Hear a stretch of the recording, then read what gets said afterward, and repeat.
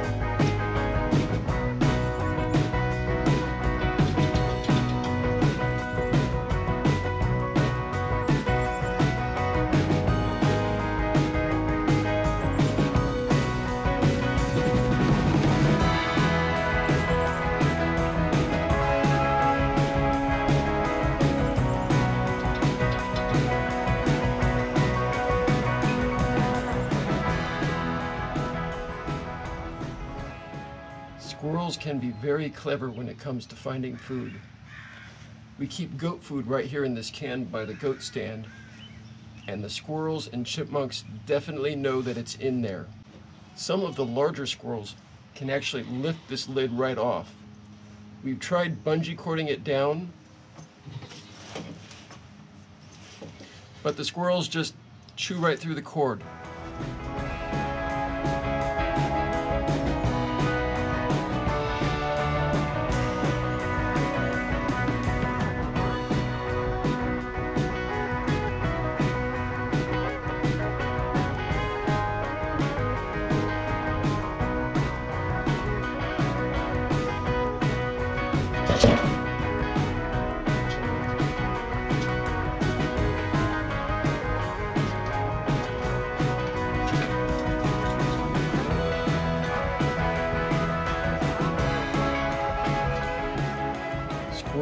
Chipmunks aren't the only things that get into this can.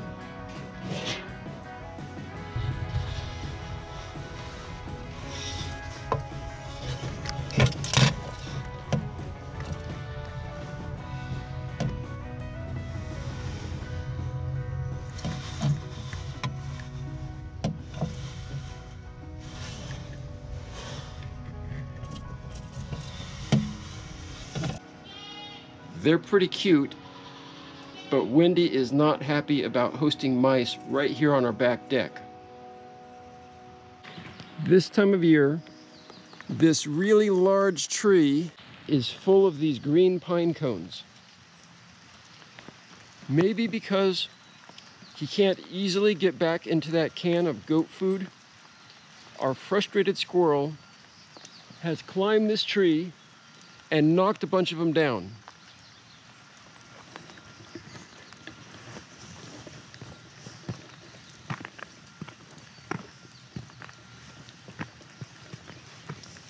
Look at this mess.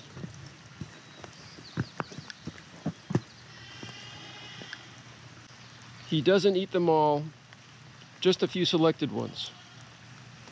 If you haven't seen the video Troll Mound Story, you should watch that one first. This video is a continuation of that one. Shenanigan is very upset. The troll wants her to move in with him. This is not the kind of drama I wanted in my life when I made that welcome to the neighborhood gesture of family-oriented furniture for our troll. Shenanigan, are you feeling any better yet? No, I haven't talked to him yet. Okay, I promise I will. Shenanigan wants me to talk to the troll for her. Did he at least give you his name? I really don't want to just wander around down there saying, hey you, to some invisible troll. I don't want to know his name. I wouldn't want to encourage the little creep. Have you considered maybe just letting the poor guy down a little easy? No. I see she hasn't considered that approach. I'm calling him Boaty McBoatface. It fits. And this is all your fault, Bryan. He just kept pointing at his two chairs and that empty cradle. I'll come up with a more appropriate nickname for him. Remember, Shenanigan, we want this troll to settle down with another troll. If he does that, he'll be too busy to bother you. And he'll be a good neighbor. Offending him really is a step back from that outcome. Have you considered just, I don't know, making yourself invisible to him? No, he is magical and can see me just fine all the time. You haven't done anything to him with your magic, have you? Like what? I don't know, like putting him in a coma with a poison apple or magically transporting him somewhere far away? Trust me, Boaty McBoatface is no Snow White. But I hear Siberia is nice this time of year. Well, don't do anything too drastic. Let me see what I can do first. Mr. Troll? Mr. Troll? I'm the one who made that new furniture for you. Mr. Troll? I've got a message for you from Shenanigan. Is she ready to accept my offer? What did she have to say about me? Thank you for letting me see you face to face. It's nice to meet you. My name's Bryan. Shenanigan is just not interested in being with you. Figures. And now she sends her hulking boyfriend to threaten me. It's not like that at all. Wait, don't disappear yet. Did she have anything nice to say about me at all? Well, I'm not sure I should tell you the name that she calls you. It's Bo Buddy. That's it. Buddy. Bottom line, Shenanigan is just not romantically interested in you. I'd like to help. I'm a good listener. Maybe I can give you some good advice. Tell me, what are romantic relationships like for trolls? Our culture is more traditional with very specific gender roles. The guy is in charge, the girl needs to be humble and obedient. I understand and can see that your sense of honor is very important to you. Buddy, do you think Shenanigan lets me control her, even if my control was meant to keep her safe and happy? Sure, isn't that how it works, Bryan? Far from it. Shenanigan actually holds all the cards. I can't even see or hear her unless she allows me to. Tell me, do all troll women really like being told what to do all the time? How would you feel if the shoe were on the other foot? I can't imagine what that must be like for you, Bryan. When you put it that way, I'm kind of glad shenanigan is your problem. There's more to it than that, buddy. Honor and respect are important elements in a relationship. But those things mean even more when they're freely given rather than forcefully demanded or even just expected and therefore not really appreciated. It doesn't sound easy. What would the other trolls think if my woman disrespected me? The important thing is that you both make each other happy. You may just have an advantage here over all the other trolls. Tell me more. I like having the advantage. First of all, you do have a really excellent place to live when you do find a lady troll. If most of the other troll guys have similar perspectives and intentions as what you've been describing, then it may be a whole lot easier for you to find a really great future Mrs. Troll than it will be for them. Imagine, buddy, what it will be like from the young lady's perspective when you honestly approach them with the genuine feeling that their dignity is important. They'll sense this about you, and the girls will probably fall all over you to catch your eye. You've given me a lot to think about. I thought you were just a good weed puller. I never would have imagined you might have such wisdom to share.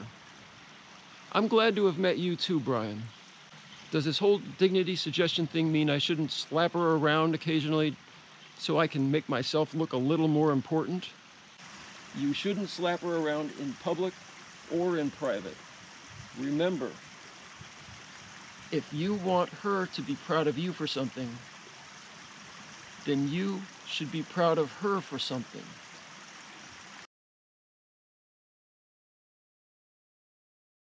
There's a new and interesting development in our little troll saga. Buddy has left his original chair right here on the ledge of the pond, right outside my shop where he knows I come and go from all the time. He probably wanted it up here so I wouldn't not notice it and accidentally step on it if it was on the ground. But why is he bringing it back to me? Is it a trade for the furniture that I made for him? I'll have to ask. Buddy, how's it going?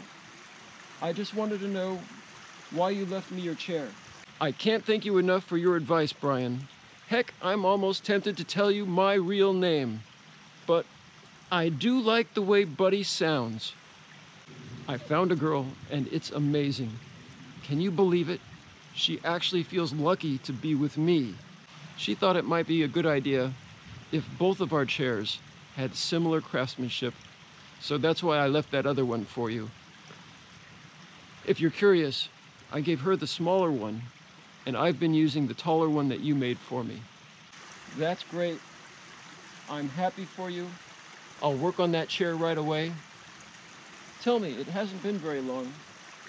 Are you two just dating or is it a little more serious? She has moved in. She's getting used to the new place. I'd introduce you, but she's a little shy. We are talking about honeymoon destinations. Shenanigan tells me Siberia is pretty nice this time of year. Wow, that's great but I'm not sure Siberia is quite right for a honeymoon any time of year. Is there anything I can do for you, Bryan? Can you use your magic to keep the squirrels out of our goat food? Squirrels are too persistent for that. Have you thought about maybe getting a cat? We've been meaning to, but one thing or another always seems to come up. Yeah, life is like that. Is there anything else I can do for you, Bryan? You could let all the other trolls know about our YouTube channel. More subscribers would help, and having more people see the videos is the way to make that happen. I'm afraid trolls don't use high technology Let's just say I owe you one. That's right, no computers or cell phones. Since you can't send me a text, if you need to talk to me again, just put one of those chairs right back up where you left that first one. By the way, would you like to take my advice about dignity to the next level? I'm all ears, friend. You will be unstoppably popular with all the other trolls if you follow a philosophy that every single sentient being deserves infinite respect by virtue of the simple fact that they were born here on this good earth.